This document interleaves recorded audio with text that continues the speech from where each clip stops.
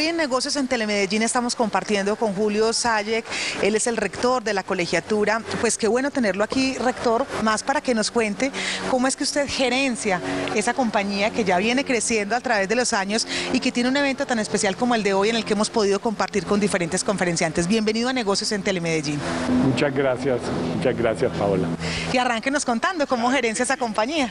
Nosotros eh, centramos la filosofía institucional en el ser humano.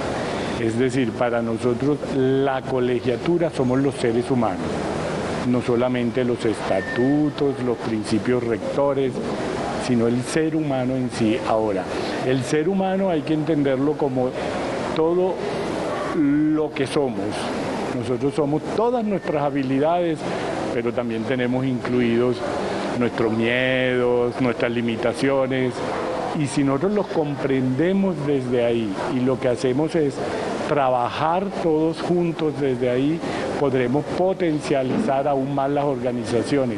Porque cuando yo voy a una mesa de trabajo y llevo una idea y la demás gente la debate, si yo estoy en posición de escucha, ese debate enriquece la idea que yo llevo y no siento que me la están destruyendo. Eso es lo importante de entender que es que todos nos debemos realizar dentro de las organizaciones donde estamos, realizarnos como seres humanos.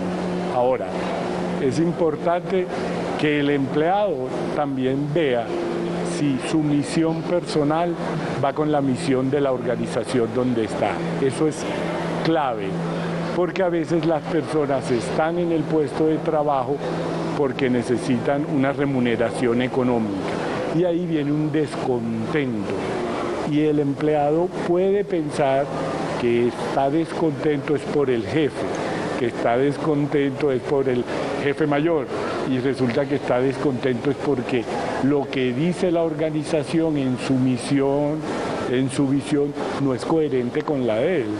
Entonces ahí la persona empieza a sentir que, que le están manejando la vida y no que él está manejando la vida. ¿Cómo es esa propuesta que entrega eh, la colegiatura colombiana a, las empresas? ¿Cómo están aportando desde los diferentes programas que, en los que están formando? Pero adicional a eso el tema de consultoría, ¿no? Sí, tenemos un sistema de consultoría y también desde educación continua ofrecemos la Escuela de la Felicidad y la Escuela del Pensamiento Creativo.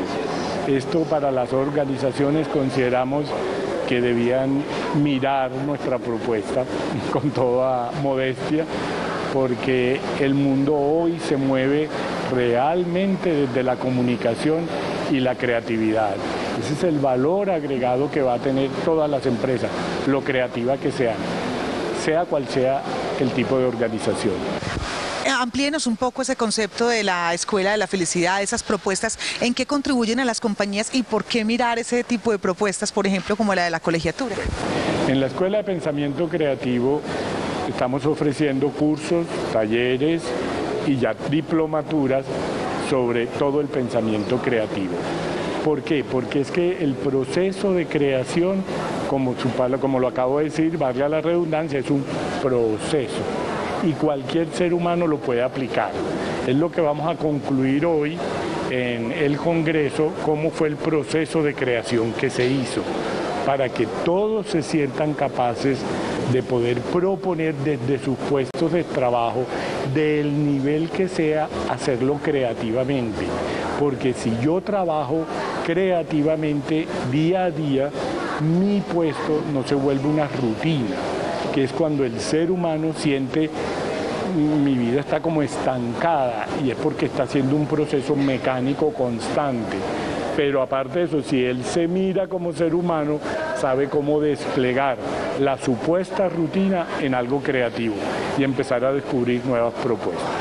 Ya para finalizar, salirse uno eh, de, los, de las aulas tradicionales de la colegiatura y venirse a Plaza Mayor, traer invitados internacionales y nacionales que hablen del tema de creatividad y felicidad, pues tiene todo un componente, digámoslo, filosófico desde la misma institución. ¿Cuándo deciden, cómo lo deciden y para qué eh, hacen este tipo de eventos? Nuestra filosofía institucional, como lo dije al principio, está basada en el ser humano y lo definimos desde ser humano, ser origen, ¿cierto? Para nosotros era importante mostrarle a la ciudad y al país que nuestras áreas de especialidad de creatividad y comunicación eran ejes transformadores de ciudad, ejes transformadores de tejido social, porque es que la creatividad es innata a todo ser humano independiente del nivel cultural y socioeconómico. Y la felicidad es un derecho que tenemos todos los seres humanos. Consideramos que la felicidad primero debes definir la que es para ti, no que te han dicho que debe ser la felicidad y desde ahí moverte a buscarla.